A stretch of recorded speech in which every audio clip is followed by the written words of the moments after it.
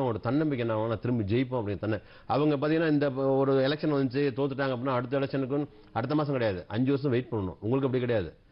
ரெண்டு மாதம் மூணு மாதம் அடுத்த அடுத்த படம். அடுத்த மூணு மாதம் அடுத்த படம். நீங்கள் நினைப்ப எப்பெல்லாம் முயற்சி பண்ணுறீங்களோ அப்போலாம் உங்களுக்கு சந்தர்ப்பம் கிடைக்கும்.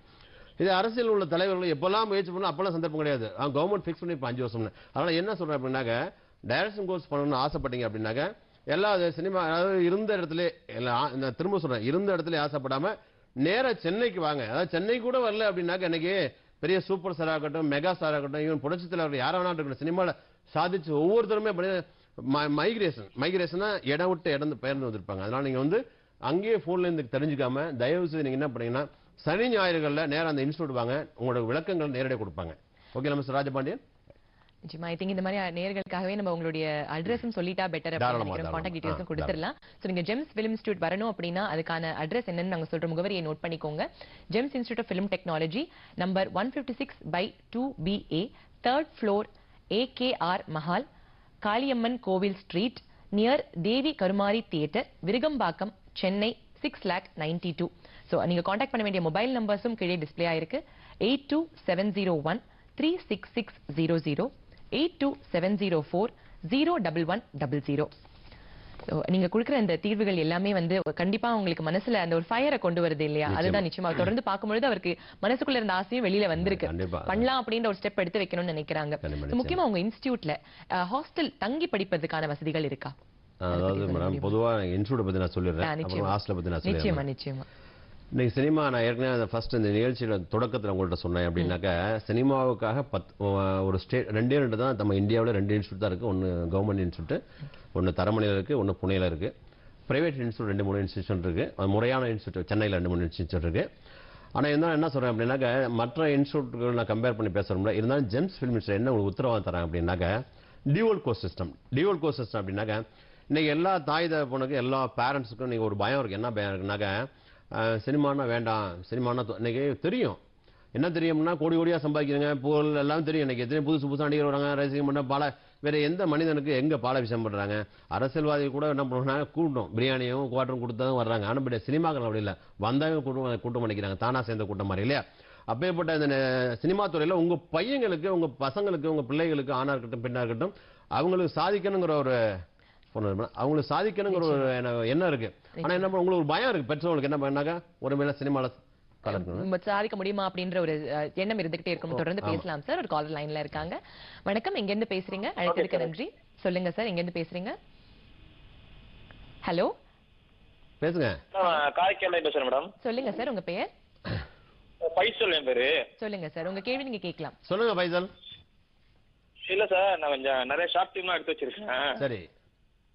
பிஎட் டீச்சர் ட்ரைனிங் படிச்சிட்டு இருக்கேன் ஃபர்ஸ்ட் இயர் படிச்சிட்டு இருக்கேன் very good very good very good அதனால காம்படிஷன் நிறைய வந்ததுனால நிறைய பிரைஸ் ரெண்டு மூணு பிரைஸ் வின் பண்ணியிருக்கிறேன். சரி. அதனால வந்து நாடகங்கள்லாம் நடிச்சிட்டு இருக்கேன் சில ஒரு நாடகங்கள் நடிச்சிட்டு இருக்கேன். அதனால. வாய்ப்பு கிடைக்குமா சார் அங்க சரி. ஃபைசல் நான் சொல்ற தொண்ணூறு கவனிங்க உங்களுக்கான பதில் இது. பொதுவாக நீங்கள் வந்து எல்லாமே இப்ப என்ன பண்ணால் மற்ற இன்ஸ்டியூட் அதான் சொல்ல வந்து நீங்களே கேட்டீங்க. மற்ற இன்ஸ்டியூட்டை பொறுத்த வரைக்கும் என்ன பண்ணாங்கன்னா ஒரு கோர்ஸ் ஆரம்பிச்சுட்டு ஷார்ட் ஃபிலிம் பண்ணுங்க ஷார்ட் ஃபிலிம் பண்ணுங்க இதுதான். என்னன்னா முறையான பயிற்சிகள் கொடுக்காம என்ன பண்ணுறானாக்கா நான் ஒரு எக்ஸ் மிலிட்ரி ஸோ மிலிட்ரிலாம் நான் மிலிட்ரியில் மற்றவங்களுக்கு பயிற்சி இப்படி கொடுத்துருப்பேன். ஏன்னா எஃபெக்டிவான பயிற்சி கொடுத்தா தான் எல்லையில் நிற்க முடியும். அங்கே போய் எல்லையில் நிற்க முடியும். கிட்டத்தட்ட சினிமா பார்த்தீங்கன்னா ராணுவத்தை விட ரொம்ப சென்சிட்டிவான இதான் உண்மை. என்னோட அனுபவத்தில் நான் சொல்றேன். சினிமா என்பது ராணுவத்தை விட ரொம்ப சென்சிட்டிவானது ரொம்ப அப்படிங்கிறப்ப என்ன பண்ணா இங்க முறையான பயிற்சி வேணும். டாக்டர் கமலஹாசன் சார் சொன்ன மாதிரி பத்மனிசி பத்மனிசி சொன்ன மாதிரி ஏன் அதுக்கு நம்ம ஒரு நிறுவனத்தை தொடங்கக்கூடாது? அது ஏன் முறையான பயிற்சி தொட- பண்ணக்கூடாது அப்படின்னு ஆசைப்பட்டோம் அதுக்கு நீ- எங்க ஜெம்ஸ் ஃபிலிமெண்ட்ஸ் என்ன அப்படின்னாக்க இங்க வந்து நாலு ஷோ திரும்பி திரும்பி அகைன் சொல்றேன். நான்கு ஷோட்டுக்குள்ள உட்கார மாணவர்களை உட்கார வச்சு இதுதான் ஃபுல்லி தியரி இதுதான் சினிமா நாலு விஐபி அழைச்சிட்டு வேண்டிய டெய்லி வீக்லி ஒன்ஸ் அழைச்சிட்டு வந்து அவங்கள அவங்கள அரை மணி நேரம் பேச வச்சு இதுதான் சினிமா அப்படி நாங்கள் ஐ டோன்ட் வாண்ட் அந்த மாதிரி பயிற்சி கொடுக்க நான் விரும்பல. எஃபெக்டிவ் ஒரு ட்ரெயின் எஜுகேஷனா ஒரு எஃபெக்டிவா இருக்கணும். அதாவது இங்கிலீஷ் மீடியம் படிக்கிறாங்க இன்னைக்கு எல்லாம் மேக்ஸிமம் ஆனா இங்கிலீஷ் பஸ் வெளியில போய் தயங்குறாங்க. என்ன காரணம் உங்களுக்கு? என்ன மே- தமிழ்நாடு முழுக்க ஒரு காலத்துல ஊட்டிலேயே சென்னையில இந்த ஊட்டி சென்னை திருநெல்வேலியில இந்த இங்கிலீஷ் கான்வென்ட் இன்னைக்கு எல்லாம் குக்குராமல வந்துருச்சு. இங்கிலீஷ் கான்வென்ட் வந்துருச்சு படிக்கிறாங்க பாஸ் ஆகுறாங்க. ஆனா எத்தனை பேர் இங்கிலீஷ் பேசுறாங்க? என்ன காரணம் எஜுகேஷன் வந்துருச்சு. ஆனா அது எஃபெக்டிவா இருக்கிறது பெரிய நமக்கு ஒரு கேள்விக்குறி. அதே போல சினிமா இன்ஸ்டியூஷன் நிறைய இருக்கு. ஆனா அதுல இருந்து வர்ற மாணவர்கள் வந்து முறையா? அதற்கான என்ன பண்ணணுமோ அதை செய்யறது இல்ல தொடர்ந்து செய்யறது இல்ல அப்படின்றதுதான் தொடர்ந்து நிறைய விஷயங்கள் கேள்வி கேட்கணும் சார் நிறைய பட்டியலே நான் வச்சிருக்கேன். ஒரு சின்ன இடைவெளிக்கு நம்ம போயிட்டு. வந்துடலாம் தொடர்ந்து நம்ம பேசுவோம். இடைவெளி உங்களுக்காக. சனிக்கிழமை இரவு பதினோரு மணிக்கு அஞ்சு பைசா பத்து பைசா ஒட்டு பச்ச சின்ன பொண்ணு வந்திருக்கா வந்திருக்கா வம்பிழுக்க கன்னி பொண்ணு. உன்னை பத்தி இவனுக்கு தப்பு தப்பா சொல்றானுங்க கண்ணு. நீ என்னமோ அங்க பத்து பேர் கூட தகராறு பண்ணிக்கிட்டு இருக்கியா. பாத்தீங்களாடா? இவன் தான் என் மகன். ஏன்பா தகராறு பண்ணிக்கிட்டு இருந்ததை நீங்க பாத்தீங்களா? பாத்தீங்களாடா? பார்த்த மாதிரியும் தெரியுது பார்க்காத மாதிரியும் தெரியுது. விடியறதுக்கு முன்னாடி என் வீட்டுக்கு முன்னாடி வந்து நிக்கிறது. ராத்திரி ஆனா இந்த ஊருக்குள்ள ஓனாய் புகுந்த மாதிரி என் வீட்டுக்குள்ள புகுந்து கண்ணாபடான்னு பாடுறது. இப்படி பண்றதுனால நான் உன்னை கல்யாணம் பண்ணிக்கிறவனா? ஏ எனக்குன்னு எவ்வளவு ஒருத்தி பிறந்திருப்பா.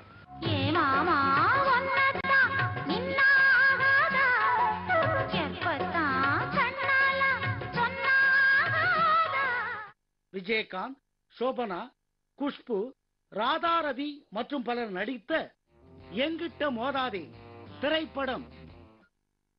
நமது பொதிகையில் மீண்டும் வருகை நேர்களே நீங்க பார்த்துட்டு இருக்கிறது பொதிகையின் ஹலோ உங்களோட நிகழ்ச்சி நம்ம பேசி நம்ம கூட பேசிட்டு இருக்கிறது திரு ஜி முருகானந்தம் ஐயா அவர்கள் ஜெம்ஸ் பிலிம் இன்ஸ்டிடியூட்டோடைய இணை இயக்குனர். சார் நம்ம வந்து என்ன பேசிட்டு இருந்தோம் உங்களோட டியூவல் கோர்சஸ் பத்தி டிஸ்கஸ் பண்ணிட்டு. இருந்தீங்க அதை பத்தி இன்னும் கொஞ்சம் விவரமா இப்போ ஒரு பையன் காரைக்கால்ல இருந்து ஒரு பையன் கேட்டா நான் பிஎட் படிச்சிருக்கேன் நான் ஷார்ட் ஃபிலிம் பண்ணிருக்கேன் அப்படின்னு சொல்லி சொன்னாரு. மேக்ஸிமம் என்ன பண்றாங்கனாக்கா முறையான பயிற்சிகளை கொடுக்காம என்ன பண்றாங்கன்னா ஒரு மாணவர் மாணவர் கையிலே பயிற்சி கொடுக்காமலே மாணவர் கையிலே பொறுப்பை கொடுத்து என்ன பண்றாங்கனாக்கா நீ ஷார்ட் ஃபிலிம் பண்ணிட்டு அப்படின்ட்டாங்க. அதாவது ஒரு மனிதன் வந்து மேடம் சாதாரணமாவே ஒரு மனுஷன் நடக்கும்போது டக்குன்னு ஃபர்ஸ்ட் எடுத்து வைக்கிற கால் லெஃப்ட் கால் தான் வைப்பாங்க. நீங்க நிற்கும் போது பாருங்களேன் முதல்ல லெஃப்ட் எடுத்து வைப்பாங்க. ஏன்னா மனிதன் வந்து இறைவன் நம்ம இயற்கை இயற்கையில் அப்படி தான் படிச்சிருக்காங்க இருந்தாலும் என்ன பண்றாங்கனாக்கா ராணுவத்திலேயோ போலீஸ்லயோ நேவிலையோ நீங்க ஏர்ஃபோர்ஸ்ல போனீங்கன்னாக்கா அதுக்கு நடக்க சொல்லி கொடுப்பாங்க. நீங்க கேட்கலாம் அவங்கள்ட்ட ஏன் சார் நாங்கள் வைக்கிறதே நாங்கள் லெஃப்ட் தான் வைக்கிறோம். நீங்க அதில் லெஃப்ட் ரைட் சொல்லி கொடுக்கணுமா? அப்படின்னு. மனிதன் இயல்பா அனிச்சையா செய்யக்கூடிய கா- செயல்கள் என்ன லெஃப்ட் எடுத்து நடக்கிறது. ஆனா அதுக்கு பயிற்சி கொடுப்பான். லெஃப்ட் ரைட் லெஃப்ட் ஏன் ரைட் லெஃப்ட் ரைட்னு சொல்றீங்களா லெஃப்ட் ரைட் அது மாதிரி சினிமா பாத்தீங்கன்னா இயல்பா நீங்க உங்க வீடுகளில் என்ன பண்றீங்களோ உங்க குடும்பத்துல அஹ், உங்க லைஃப்ல என்ன பண்றீங்களோ அதை தான் இங்க அப்படியே யதார்த்தமா க- இங்க வந்து நடிக்கணும். ஸோ நடிப்புங்கிறது வந்து செயற்கையா செயல்ல. இயற்கை யதார்த்தமா நடிப்பு மட்டும் தான் இங்க ஜெயிக்குது. அது யாரும் நடிக்கலாம். ஸோ இந்த ஜெம்ஸ் ஃபிலிமிட்ஸ் என்ன பண்றாங்க டியூவல் கோர்ஸ் அதாவது எல்லா தாய் தகப்பனுக்கும் உங்க மேல திறமை தெரியும். ஆனா என்ன பண்றாங்க அப்படின்னா உங்களுக்கு வந்து பயப்படுறாங்க. சினிமாவில் தோத்துருவீங்கன்னு அதுக்காக தான் இந்த டியூவல் கோர்ஸ் வச்சிருக்கோம். அதை பத்தி தெளிவா பார்ப்போம் இன்னும் பாப்போம் சார். ஒரு அழைப்பு வந்திருக்கு நம்மளுக்கு. அழைத்ததுக்கு நன்றி. எங்க இருந்து பேசுறீங்க? ஹலோ? வணக்கம் மேடம். வணக்கம் சார். இது பொதிகை ஹலோ ஆ நீங்க கேள்வி கேட்கலாம். ஐயா நம்ம கூட தான் இருக்காரு. சார் வணக்கம் சார். வணக்கம் பேசுங்க வணக்கம். சார் என்னுடைய பேரன் வந்து சார் ஏழு வயசு ஆகுது சார். புரியல. என்னுடைய பேரன் வந்து ஏழு வயசு ஆகுதுங்க சார். சரி. அவர் வந்து ஸ்கூல்ல டிராமா மாதிரி நல்லா பின்னி எடுக்கிறார் சார் சரி. அது என்ன சார் பண்ணலாம்? வழிமுறை அது கேட்குறேங்க சார் ஒன்றும் பிரச்சனை இல்லை. நீங்க எங்க இன்ஸ்டியூட் கான்டாக்ட் பண்ணுங்க. அவங்க பையனுக்கு வந்து அப்படின்னாக்கா முதல்ல வீட்டுக்கு வரவங்களுக்கு நல்லா வணக்கம்லாம் வைக்க சொல்லுங்க. நல்லா பேச நீங்களே கற்றுக் கொடுங்க. அதாவது தாய் தப்பனை விட வேற யாரும் இங்கே நடிக்க சொல்லித் தர முடியாது. அதனால நீங்க சினிமாவில் நடிக்கணும் உங்க பேரை நடிக்க வைக்கணும்னு ஆசைப்பட்டீங்க அப்படின்னாக்க எங்க இன்ஸ்டியூட் கான்டாக்ட் பண்ணுங்க. அந்த மாதிரி வாய்ப்புகள் வரும்போது நிச்சயமா நாங்களே கனெக்ட் பண்ணுவோம். நீங்க இதை தொலைக்காட்சியில் பார்த்தாங்க வந்தாங்க பேசுனாங்க போனா அப்படி நினைச்சிடாதீங்க. கிளியரா சரி. நிச்சயமா கூப்பிடுங்க கூப்பிடும்போது நீங்க அந்த வாய்ப்பை பயன்படுத்துங்க அழைத்ததுக்கு நன்றி சார் சார் நீங்க உங்களுடைய கோர்சஸ் பத்தி இன்னுமே ஆமா இப்போ எல்லா பேரண்ட்ஸும் என்ன பண்றாங்க பயப்படுறீங்க. அவங்க பையன்கிட்ட திறமை இருக்குன்னு நல்லாவே தெரியும். உங்க பிள்ளைகள்ட்ட உங்க பசங்கள்ட்ட திறமை தெரியும். இருந்தாலும் போய் பி தான் படிக்கணும் ஒரு இன்ஜினியர் நீங்க இருபது முப்பது வருஷம் மைண்ட்ல செட் ஆயிட்டீங்க.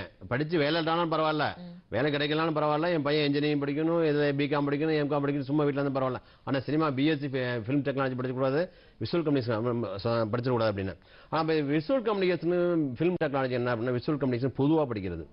ஃபிலிம் டெக்னாலஜி ஃபிலிமை மட்டுமே பத்து படிக்கிறது. அதனால ஃபர்ஸ்ட் டைம் ஜெம்ஸ் ஃபிலிம் இன்ஸ்டியூட்ல இப்போ பிஎஸ்சி எம்எஸ்சி அதெல்லாம் அப்ரூவலுக்காக வெயிட்டிங் பண்ணிட்டு இருக்காங்க டிப்ளமோல அப்ரூவல் ஆயிடுச்சு. டிப்ளமோ ஃபிலிம் டைரக்ஷன் மற்ற editing courses cinematography and film acting இது அப்ரூவல் ஆயிடுச்சு.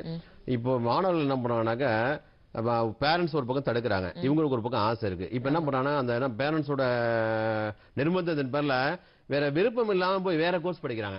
சோ விருப்பம் இல்லாம படிக்கிறது மட்டும் இல்ல விருப்பம் இல்லாம நீங்க எந்த வேலை செஞ்சாலுமே அது வந்து.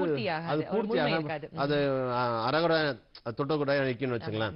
அதை புரிஞ்சுக்காத பேரண்ட்ஸ் என்ன பண்றாங்கன்னா இல்ல நீ படி இதை படி அப்படின்னு சொல்றாங்க நீங்களும் என்ன பண்றீங்க படிச்சுட்டு லாஸ்ட்ல அரியர் வச்சிடுறீங்க So, அதனால இந்த டியூவல் கோர்ஸ் அப்படின்னாக்க உங்களுடைய தாய் தகப்பனுக்காக அவங்களோட உங்களோட பேரண்ட்ஸோட பயத்தை போக்குறதுக்காக இன் ஃபியூச்சர்ல நீங்க சினிமா வேண்டாம் இல்ல சினிமால ஒரு சந்தர்ப்பம் சொன்னா சினிமாவோட நீங்க வந்து விலகி வர்றீங்க அப்படிங்கிறப்ப உங்க நீங்களும் லட்சத்துல சம்பாதிக்கலாம் நீங்களும் உயர்வான பதவிக்கு போகலாம் அப்படிங்கிறதுக்காக தான் இந்த டியூவல் கோர்ஸ் ஒன்னு வந்து பார்த்தீங்கன்னா ஒரு engineering course plus cinema course அந்த இன்ஜினியரிங்ல ஏனோ எலக்ட்ரிக்கல் மெக்கானிக்கல் சிவில் கிடையாது. Safety engineering and survey engineering இன்னும் இந்தியாவுல கிடைக்காத ரொம்ப ரேரான எஜுகேஷன் தான் தர்றாங்க. நீங்க வச்சு விசாரிச்சுங்க. சேஃப்டி இன்ஜினியரிங்கோட மதிப்பு என்ன? சர்வே இன்ஜினியரிங் மதிப்பு என்னன்னு. ஸோ ஆடட் கோர்ஸ் கொடுக்கும்போது ஒன்று பார்த்தீங்கன்னா இலவசமாக கொடுக்குற பொருள் பார்த்தீங்கன்னா ஏதோ ஏனோ தானே கொடுப்பாங்க. அது மாதிரி இல்லாமல் ஒரு ஃபிலிம் டெக்னாலஜி படிக்கிறவங்களுக்கு ஒரு சேஃப்டி இன்ஜினியரிங் கோர்ஸ் கொடுக்குறாங்க அப்படின்னா அந்த சேஃப்டி இன்ஜினியரிங் வெளியில் படிக்கிறது லட்சத்தில் பல லட்சங்கள் செலவாகும். அது மாதிரி சர்வே இல்லாத ஒரு இன்னோவேட்டிவ் தான் கொடுக்குறாங்க இல்லையா? ஸோ ஏன் கொடுக்குறாங்க அப்படின்னாக்க சினிமாவில் ஜெயிச்சா இந்த ஃபிலிம் வச்சு ஜெயிச்சிட்டோம். இல்லை வெளியில போய் ஜெயிச்சா இதை வச்சு ஜெயிச்சிட்டோம் அப்படி அப்படி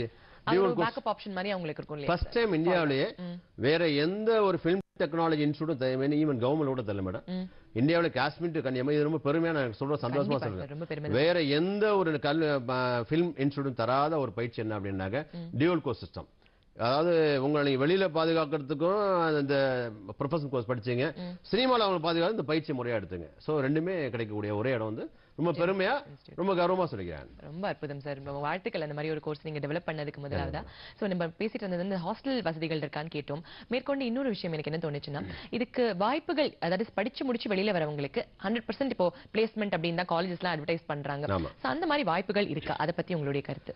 இல்ல ஒரு நல்ல என்னன்னா ஜெம்ஸ் ஃபிலிம் இன்ஸ்டியூட் இதுதான் கேட்டிருக்கீங்க. ஹாஸ்டல் மட்டும் இல்ல ஃபிலிம் இன்ஸ்டியூட் என்ன உத்தரவாதம் தரேன் டியூல் கோர்ஸ் மட்டுமே உத்தரவாதம் கிடையாது. அப்பாவுக்கும் அம்மாவுக்கும் பசங்களை அதாவது சாதிக்கக்கூடிய சினிமாவில் சாதிக்க சாதிக்க துடிச்சிட்டு இருக்க இளைஞர்கள் பெண்கள் ஆண்கள் எல்லாருக்கும் ஒரு என்ன பண்ணா ஒரு ஒரு உத்தரவாதம் ஒரு சந்தோஷமான விஷயம் அப்படின்னாக்க ஒண்ணு நீங்க ஜெயிக்கிறதுக்கான முறையான பயிற்சி இந்த ஜெம்ஸ் ஃபிலிம் இன்ஸ்டியூட் இன்னொன்னு பாத்தீங்கன்னா உங்களோட பேரண்ட்ஸோட பயம். அதாவது ஒருவேளை ஜெயிக்கலனாக்க எங்க பையன் என்ன பண்ணுவோம் அப்படிங்கிற வந்து எந்த வயசு போனாலும் ஒரு நல்ல பொசிஷன்ல கவர்மெண்ட் ஜாப்போ பிரைவேட் ஜாப்போ இந்தியாவிலேயோ ஃபாரின்ல போறதுக்கு ஒரு அதர் டியூல் கோர்ஸ் ஒரு அனதர் ப்ரொஃபஷனல் இன்ஜினியரிங் கோர்ஸ் தராங்க. அதாவது சர்வே இன்ஜினியரிங் சேஃப்டி இன்ஜினியரிங் அதை மீறி என்ன அப்படின்னாக்க நீங்க வேற எந்த இன்ஸ்டியூட்ல படிச்சாலும் ஈவன் நீங்க கவர்மெண்ட் எந்த இன்ஸ்டியூட்லாம் படிங்க.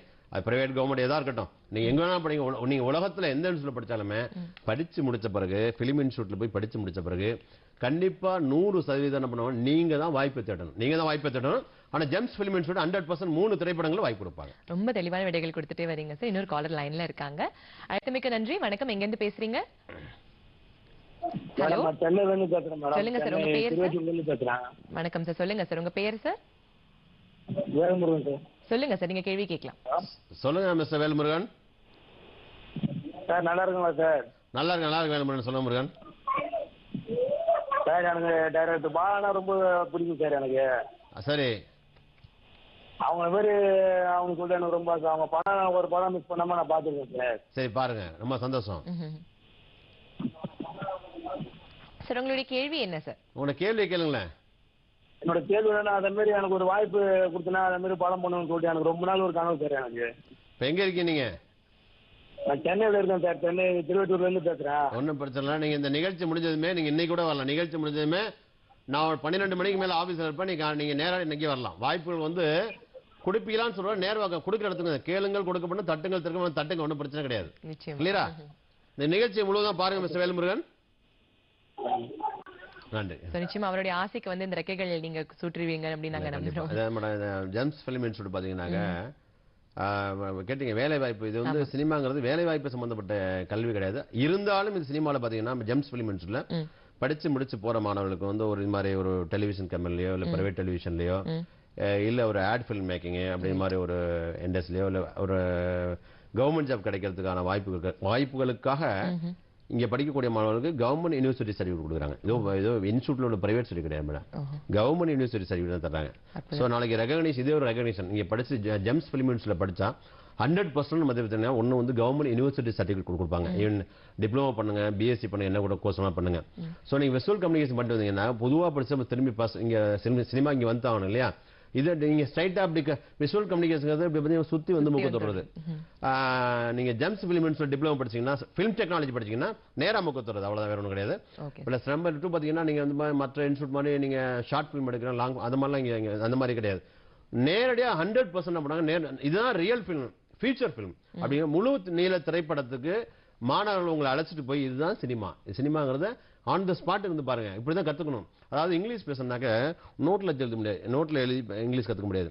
ஒருத்தன் இங்கிலீஷ் பேசும்போது பார்க்கணும். அப்படி அவன் உதடு எப்படி அசை லிப்ஸ் மூவ்மெண்ட் எப்படி இருக்கு அவன் மேனரிசம் எப்படி இருக்கு ஃபேஸ் ரியாக்ஷன் எப்படி இருக்கு அப்படிதான் கற்றுக்கலாம் அப்படிங்களா இப்போ சென்னையில் சென்னையில் எல்லா மும்பை டெல்லி கல்கத்தாலாம் பார்த்தீங்கன்னா ஆட்டோ ஓட்டுறவங்க ரிக்ஷா ஓட்டுறவங்க எப்படி இங்கிலீஷ் பேசுறாங்க அப்படின்னாக்க வரக்கூடிய கஸ்டமர் பேசுகிற பார்க்குறாங்க பார்த்து அப்படி அப்படி- அதே மாதிரி தான் அப்போ அவங்க என்ன காணொலியில் படித்தாங்க அதே போல சினிமா என்பதை நீங்கள் நாலு செவத்துக்குள்ளே படிக்காமல் நிஜ சினிமாவுக்கு அழைச்சு வந்து வந்துட்டீங்கன்னா எப்படி வந்து பார்த்தீங்கன்னா ஆட்டோ ஓட்டுறவங்களும் மற்ற இயல்பான மற்றவங்களாம் இங்கிலீஷ் சாதாரண பேசுறவங்களும் அது மாதிரி அவங்க பிராக்டிஸ் அது மாதிரி நிஜ சினிமா உங்களுக்கு பிராக்டிஸ் கொடுக்கறது தான் ஜெம்ஸ் ஃபிலிம்ஸோட வேலை. நீங்க வந்து ஷார்ட் ஃபிலிம் எடுக்க வேண்டிய தேவை கிடையாது. இங்க ஜெம்ஸ் ஃபிலிம்ஸ்ல படிக்கிற மாணவர்களுக்கு இன்னும் பெரிய ஒரு உத்தரவாதம் என்னாக்க dual course dual course and என்ன இன்ஜினியரிங் ஒரு dual course and then government university certificate hundred percent Gems film institute படித்து முடிச்சுட்டு நீங்கள் எங்கே இங்கே வரக்கூடிய மாணவர்கள் எந்த காரணத்தை கொண்டும் இன்னொரு பட கம்பெனிகளில் வேற எங்கேயாவது போய் வாய்ப்பு தேடி நிற்க கூடாது. என்ன காரணம் என்னுடைய பிள்ளைகள் நாங்கள் உருவாக்குறோம். எங்களுடைய ஸ்டூடெண்ட்ஸ் நாங்கள் உருவாக்குறோம்.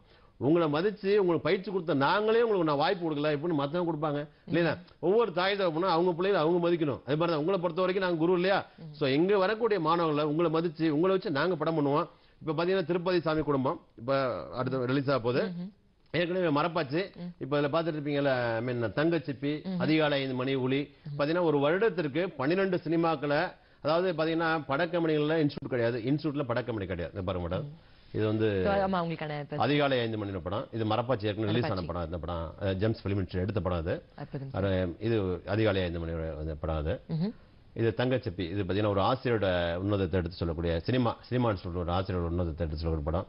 ஸோ இதெல்லாம் வந்து மாணவர்களுக்கு வந்து இது விரைவில் ரிலீஸ் ஆகிருக்கிற படம். திருப்பதி சாமி சார். இன்னொரு நேம் நெக்ஸ்ட் மந்த் ரிலீஸ் ஆயிருப்போம் அற்புதம். அடுத்த ஒரு அழைப்பு வந்துட்டே இருக்கு நம்மளுக்கு. வணக்கம். அழைத்ததுக்கு நன்றி. எங்க இருந்து பேசுறீங்க?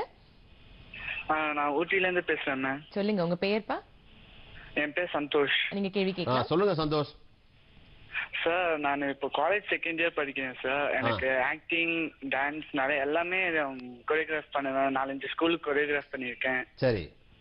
சரி ஒரு ஆக்டிங் சான்ஸும் கொஞ்சம் ஏதாவது கிடைக்குமான்னு தான் சரி ஆக்டிங்ல பார்த்தேன். ஒரு நிறைய ட்ரை பண்ணேன் சார் பட் கிடைக்கல. நீங்க படிச்சுட்டு இருக்கும்போது எப்படி நீங்க வந்து ஆக்டிங் ஃபிலிம்ல ஆக்ட் பண்ணுவீங்க? சார் இல்ல சார் நான் ஆக்சுவலி நான் வந்து ஃபுல்லா ஆக்டிங்ல தான் சார். நான் வந்து பார்ட் டைமா பண்றேன் சார் பார்ட் பார்ட் டைமா படிப்பை பண்றீங்களா? பார்ட் டைமா நடிப்பை பண்றீங்களா? ஐ மீன் பாடமா படமா? பண்றேன் சார் ஆ? டான்ஸ் பண்றேன் சார் சரி ஒண்ணும் பிரச்சனை இல்லை. சந்தோஷம் நிகழ்ச்சி முழுசும் முழுவதும் பாருங்க. உங்களுக்கு வாய்ப்பு காத்திருக்கு. நம்ம நிகழ்ச்சி பாருங்க. நிகழ்ச்சி பார்த்து முடிவுல கேளுங்க. உங்களுக்கு வாய்ப்பு நான் திரும்ப திரும்ப சொல்றேன். வாய்ப்பு நிச்சயமா நாங்க தர்றோம். பட் நாங்க உங்களை தேடி வர முடியாது. நீங்க எங்க தேடி வரணும். ஓகே. சனி ஞாயிறுல எப்போ ஓய்வு கிடைக்கும் நேரா நீங்க ஃபோன் பண்ணிட்டு வாங்க. ஓகேங்களா நிகழ்ச்சி முழுதும் பாருங்க. நன்றி. நீங்க. கூட்டு பேச நன்றி. வேற ஊட்டில இருந்து அழைப்பு வரும்பொழுது மிகவும் மகிழ்ச்சி இல்லையா. சார் இப்போ வந்து வந்த காலர்ஸ் எல்லாருமே பார்த்தோம்னா எல்லாமே ஆண்கள். முக்கியமா பெண்கள் ஏன் இந்த இண்டஸ்ட்ரிக்கு வரதுக்கு கொஞ்சம் யோசிக்கிறாங்க தயங்குறாங்கன்றத பத்தி உங்களுடைய கருத்து? நல்ல கேள்வி. அதாவது இப்ப நம்ம பெண்கள் பெண்கள்னாவே ஒரு தயக்கம் இருக்கும்.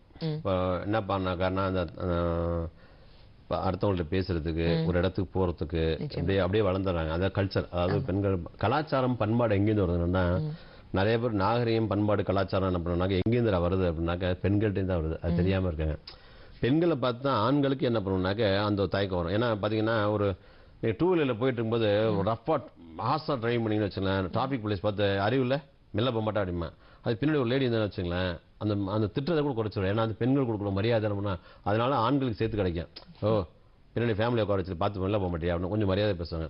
பெண்கள் அப்படி சொன்னாவே அதாவது அப்பா ஆகணும் அப்படின்னா கல்யாணம் தான் அப்பா குழந்தை பிறந்தா அப்பா உடனே அம்மா அப்படி இல்லை. பெண்ணா பிறந்துட்டே அம்மா தான் பெண்ணா வாம்மா சொல்லுமா அப்படின்னு குழந்தைகள் அஹ், பெண்ணா பிறந்துட்டு அம்மா தான் அது அவங்க கல்யாணம் ஆகி குழந்தைல பிறக்கணும் இல்லை அப்படி ஒரு உன்னதமான பிறவி. ஆனா என்ன பண்ணாங்கன்னாக்க அவங்க இந்த சினிமா துறைக்கு வந்தா அவங்க பெற்றோர் ஆண்கள் வரதுக்கு பயப்படுறாங்க. இப்போ உள்ள பெற்றோர்லாம் பெண்களுக்கு வந்து சினிமாவை விட ஒரு பாதுகாப்பான துறை வேறுமே இருக்க முடியாது. என்ன காரணம் நான் போன நிகழ்ச்சியும் சொன்னேன். ஒரு பெண் வீட்டிலேருந்து இறங்கி